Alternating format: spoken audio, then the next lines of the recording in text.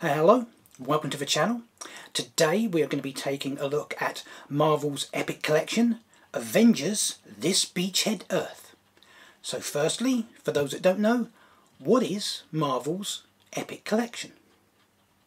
1. Epic Collections are a series of softcover collected editions from Marvel. 2. Epic Collections generally seem to contain around 18 to 20 issues worth of material, give or take an issue. 3. Epic Collections may include issues from other titles that tie in with the stories in that particular volume. 4.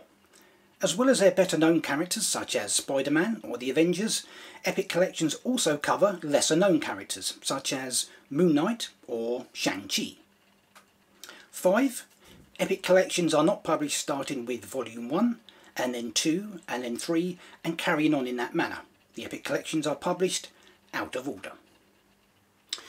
So there we go. Well what about this particular volume?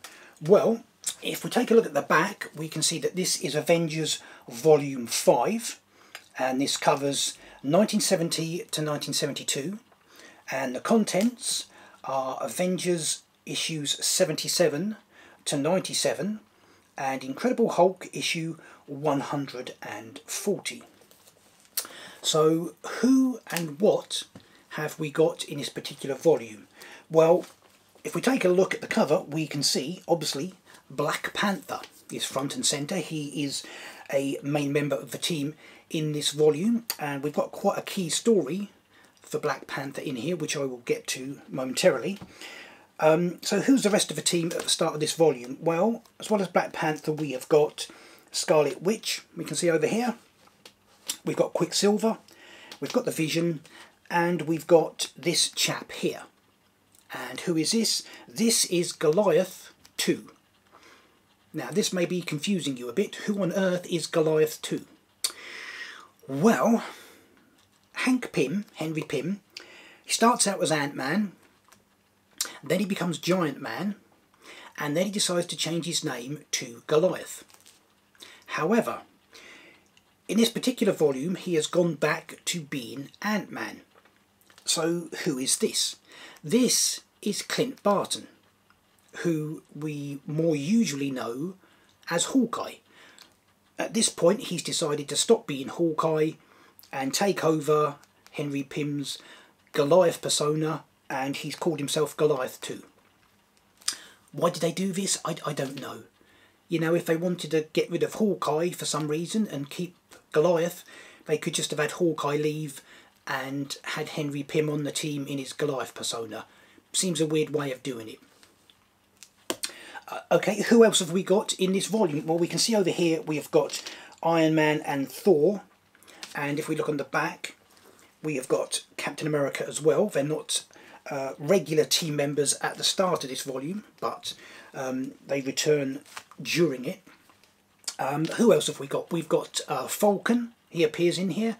Uh, the Hulk, um, Ant-Man, as I've already mentioned, Ant-Man and Wasp.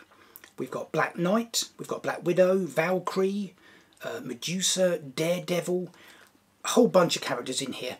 We have also got Captain Marvel, making quite uh, a number of appearances in here. Now this is the original Captain Marvel. This is not Captain Marvel from the movies.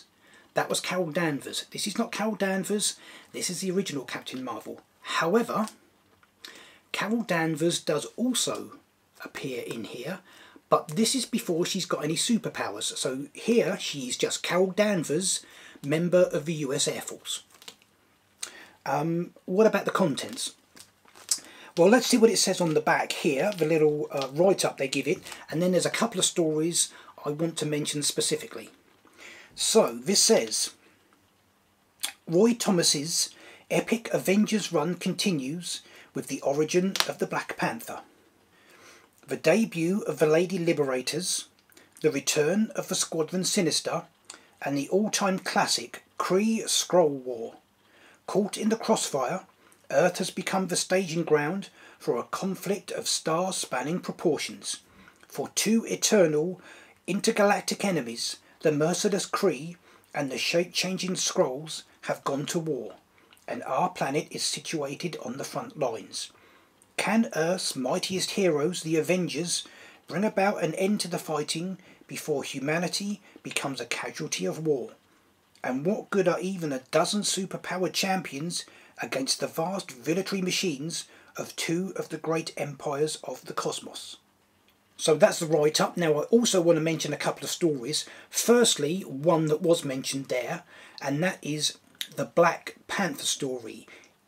We get Black Panther's origin in this volume. We have a story where T'Challa himself relates his origin to his teammates. So we get to find out how he becomes Black Panther and his essentially his, his first uh, encounter with um, the criminal organisation AIM uh, when he discovers them in Wakanda up to, uh, well let's say up to no good. So that is obviously quite a key story for Black Panther. That is very interesting, Black Panther's origin story. Now we also get another origin story. This is for a character called Red Wolf. And this is a Native American superhero character who, if I remember correctly, joins the West Coast Avengers at some point later on. So the Avengers get involved with him and in uh, his uh, adventure that he's currently on. And we also get his origin story. And then we also get, I mentioned, we got issue 140 of the Hulk in here. And that is because there is a Hulk story that starts out in an issue of the Avengers, but finishes off in the issue 140 of The Incredible Hulk. And that is, I have to say, quite a fascinating story, quite different to what I would expect for a Hulk story.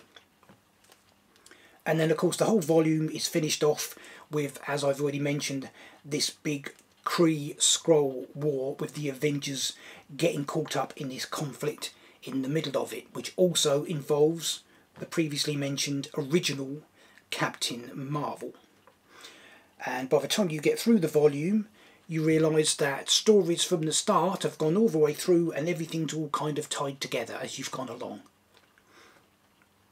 And that essentially is Marvel's Epic Collection Avengers Volume 5. I have to say with this particular volume, I do really like the way the stories all seem completely separate and as you go through the volume you discover that um, some of them all kind of tie in with each other at later points.